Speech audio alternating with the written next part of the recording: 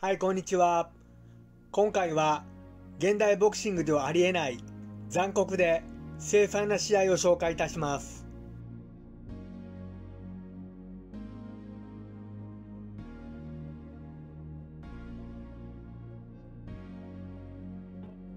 185センチのジャック・デンプシーが2メートルを超える王者ジェフ・ウィラードに挑戦した一戦は初回から挑戦者で背の低いデンプシーが懐に入って打ち合いを挑みダウンを奪います。当時のルールでは対戦者がダウンしてもニュートラルコーナーに下がる必要がないので近くで待って両膝がマットを離れるとすぐにまだ攻撃を仕掛けることができました。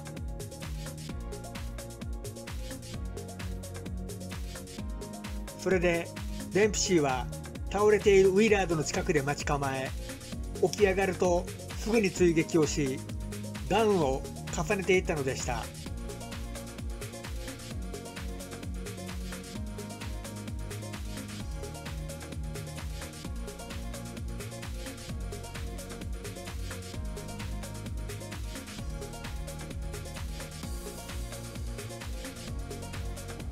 デンプシーは従来のアップライトスタイル防御志向単発パンチだったボクシングを攻撃重視で激しい連打を繰り出し攻撃的なボクシングに変えたボクサーでこの試合も獰猛に攻め立て初回に7度もダウンを奪ったのでした。2ラウンド以降もデンプシーは攻撃の手を休めないのですがウィラードはこの試合で顎を砕かれ肋骨頬骨歯を折られ信じられないほどのダメージを受けたのでした。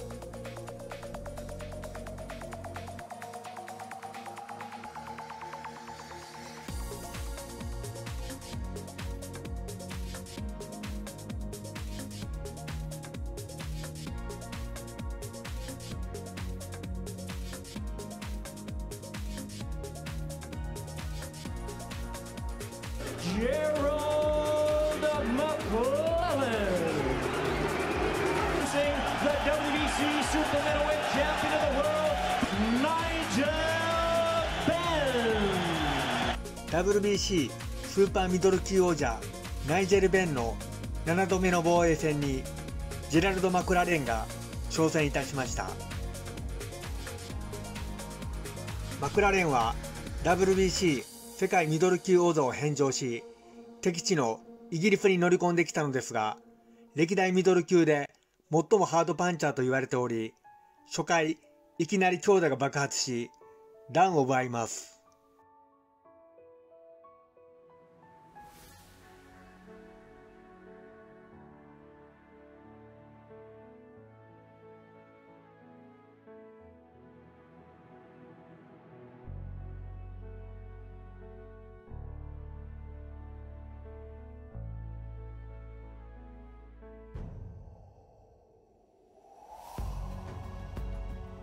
初回にダウンした王者ベンはタフな上にパンチ力があり2ラウンドには回復し攻勢に出ます。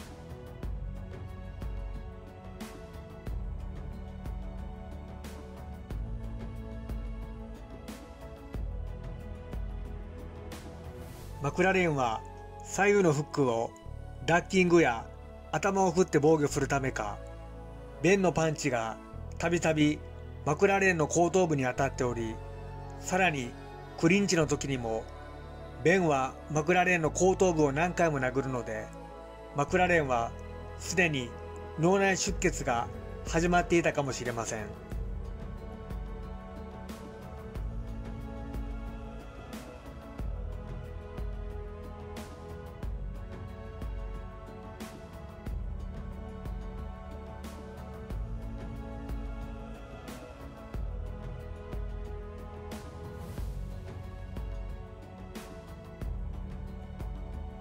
2度目のダウンを奪われたベンは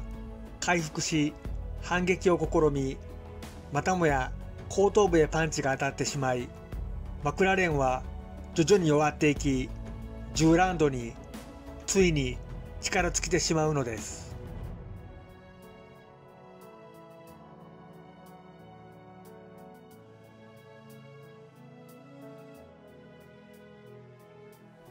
試合後マクラレンは意識を失いましたが医師の懸命な処置により一命を取り留めました。しかし半身不随となり両目の失明そして言語能力も奪われたのでした。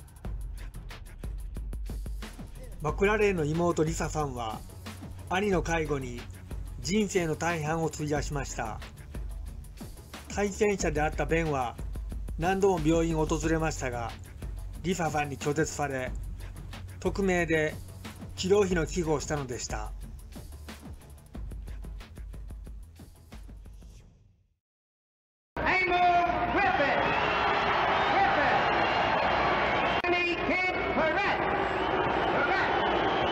世界ウェルター級王者ベニー・パレットは2度目の防衛戦にエミール・グリフィスを迎えました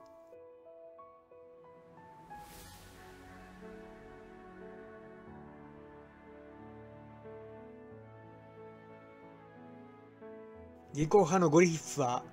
ロビンソンの再来と呼ばれており王者パレットにとって困難な対戦相手でした。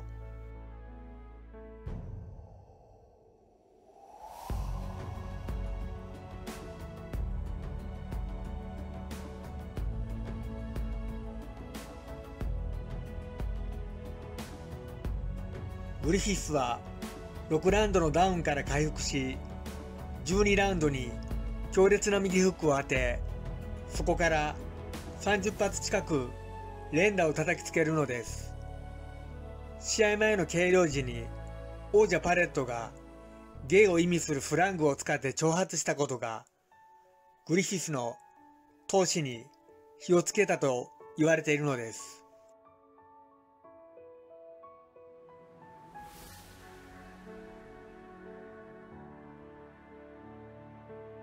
当時アメリカでは今以上にボクシングの人気が高かったのですが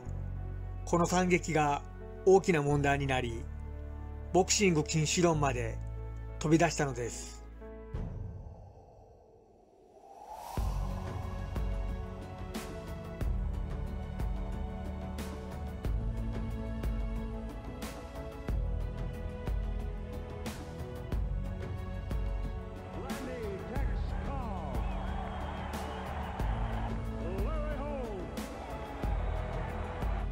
40戦全勝の WBC 世界ヘビー級王者ラリー・ホームズは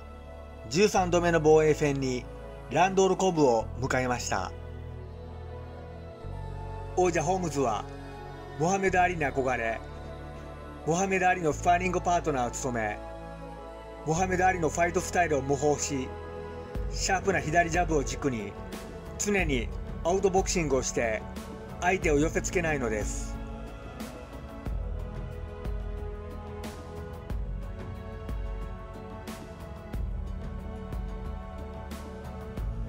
この試合はホームズが序盤からジャブと右ストレートを頻繁に当てて一方的な展開となります。あまりにも一方的すぎてボクシング史上最も一方的な試合と言われております。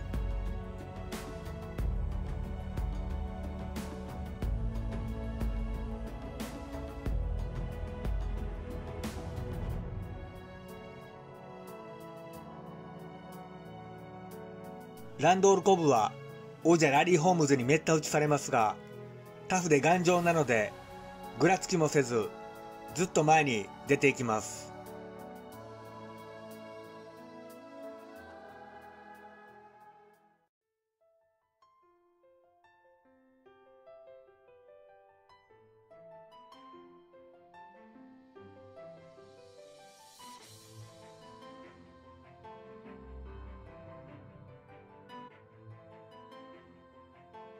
コブは信じられないほどパンチをもらいましたが、一度もダウンをしなかったのです。こうしてヘビー級史上最も一方的なタイトルマッチは15ラウンド終了したのです。